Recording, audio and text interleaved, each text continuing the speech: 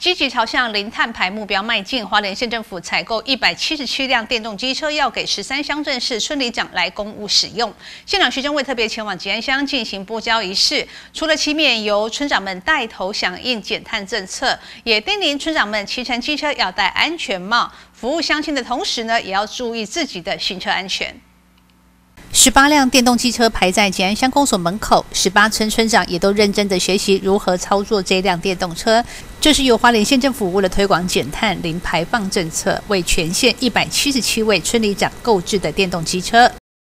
谢谢花莲县环保局，谢谢县长徐增卫拨用给我们吉安乡十八台的电动机车，让我们可以在服务的时候节能减碳。让我们的碳排放量来减少，而且可以拥有洁净家园、守护环境的好能量。在村长的方面，他们每天要进行百次以上的服务，也希望能够透过这些电动机车公务的使用，来减少我们的碳排放量以及洁净的维护。希望我们的家园。越来越干净，越来越棒，也达到了县乡协力落实节能减碳在吉安。